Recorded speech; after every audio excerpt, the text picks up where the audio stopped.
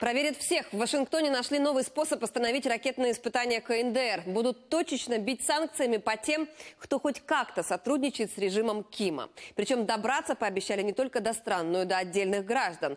Кого возьмут под колпак, узнаем от Дмитрия Анопченко. Вашингтон демонстрирует, готов к военному решению проблемы. Америка показательно перебрасывает в западную часть Тихого океана свои авианосцы. Седьмой флот США в этом районе уже три ударные группы насчитывает. Получив сейчас подкрепление авианосец Теодор Рузвельт, крейсер и три эсминца, оснащенные ракетами, но параллельно, хоть и незаметно, действуют и финансисты. И этот удар может быть даже серьезнее, чем ракетный.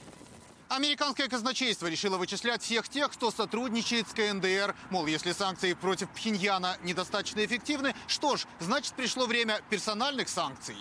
В Саудовской Аравии, где сейчас проходит форум по глобальным инвестициям и собрались ведущие бизнесмены, министр финансов США Стивен Мнучин предупредил мир. Осторожнее, все на контроле. Месяц назад Дональд Трамп дал им право на жесткие меры в отношении тех, кто помогает КНДР.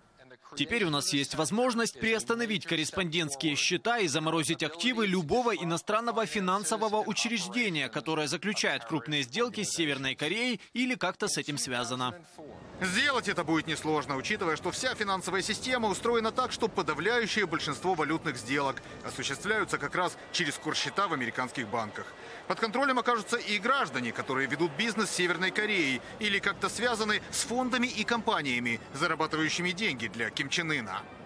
В Вашингтоне намерены лишить северокорейского диктатора валютных заработков, которые он тратит на ракетные исследования, и готовы пополнить санкционные списки именами всех тех, кто, зарабатывая сам, позволяет и Северной Корее строить ракеты.